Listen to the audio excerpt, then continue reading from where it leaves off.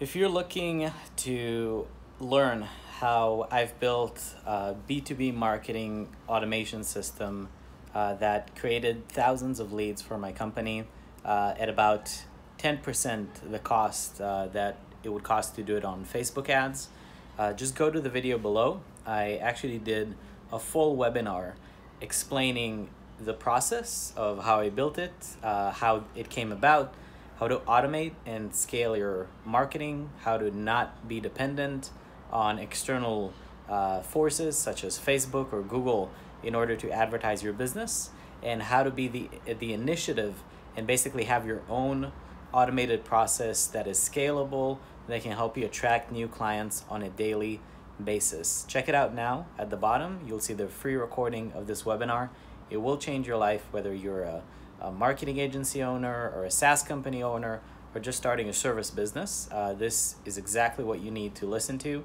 uh, before you go on your journey and start relying on referrals and, and web design and SEO and paid ads and content marketing and all the other shit that people are, are peddling.